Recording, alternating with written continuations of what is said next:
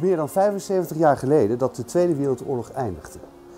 Hier in het Haagse gemeentearchief liggen de verhalen van de bezetting en bevrijding opgeslagen in documenten, film en foto.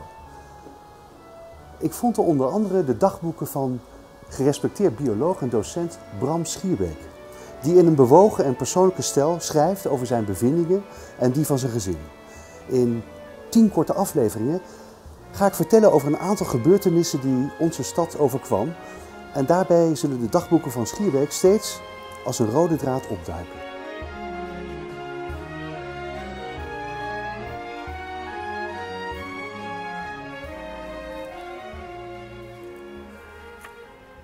Onze Schierbeek wordt op de 14e mei gewekt door kanongebulder uit de verte. Hij schrijft dat het Koningshuis naar onbekende plaats vertrokken is en wint zich op over dat de Moerdijkbruggen niet zijn opgeblazen. Is hier verraad in het spel? Gleich stoßen andere Truppen vor, um die Verbindung über die Eisenbahnbrücke herzustellen. Vorwärts über die Brücke!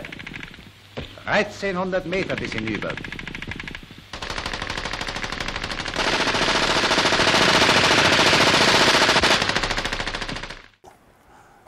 Nepnieuws is van alle tijden, want hier staat in een ander fragment dat Schierbeek hoopvol is over een bericht dat wel 18.000 Canadezen zijn geland in Rotterdam en de Duitsers schijnbaar hebben teruggedrongen over de Moerdijk.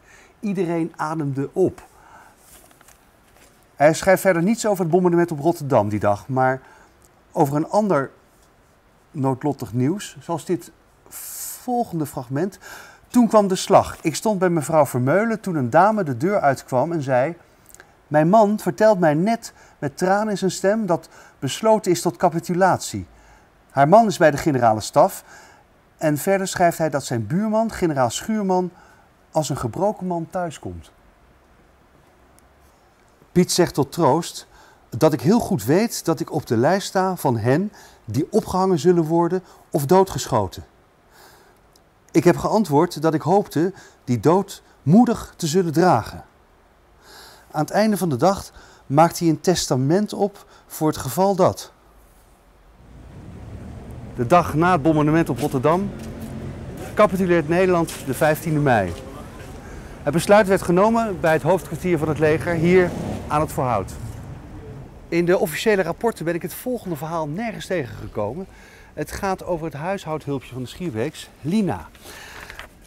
Ze is geheel onder de indruk, schrijft Schierbeek. Want toen zij gisteren in de stad was, en dat was hier in het Westeinde, stonden daar drie soldaten. Toen zij hoorde dat werkelijk tot overgave besloten was, schoten zij zichzelf dood. Vlak bij haar. Ook schrijft hij dat Rotterdam is platgeschoten en gebrand.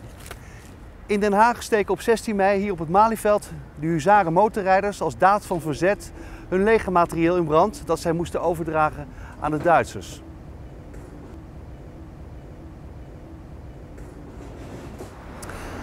Alleen in Zeeland zal dat doorgevochten worden, maar bij ons trekken de Duitse troepen de stad binnen. En zullen op verschillende plekken worden ingekwartierd, zoals ook hier in het Haganem. Maar ook bij Schierbeek thuis, die hier les geeft, worden Duitse parachutisten ingekwartierd. Een kort relaas. Het zijn Gefreiter Tretnik uit de Ostmark, een betrekkelijk jong mens die zegt dat hij in nachten niet geslapen heeft en Oberschütze Freund uit Saxe met een typisch rond hoofd en gemillimeterd haar. Hij zegt om de haverklap Heil Hitler. De Oostenrijker niet. Beiden zeggen spontaan, we hebben niets tegen Holland. Op een foto staan ze samen met de zoons van Schierbeek, Wim en Piet. Schierbeek heeft het over keurige jongens die in de korte tijd van verblijf hun bed netjes opmaken. En het Haganem wordt naar Duits soldatenverblijf zonder enig strootje netjes weer opgeleverd. Den Haag krijgt de twijfelachtige eer het machtscentrum te worden van de Duitse bezetter. Niet alleen militair, maar ook bestuurlijk. Vrijwel alle belangrijke Duitse instellingen komen te zitten op het Binnenhof en hier op het plein. We krijgen zelfs een Rijkscommissaris, de Oostenrijker Seyss Inquart, die op het plein nummer 23 komt te zitten met zijn kantoor. Generaal der een bevelhebber van de Weermacht, komt op nummer 4. Op nummer 1, ministerie van Koloniën, komt de SS en de SD te zitten met als hoogste baas Router. Later werd Sijs hier op het Binnenhof geïnaugureerd, waarbij hij ons toesprak.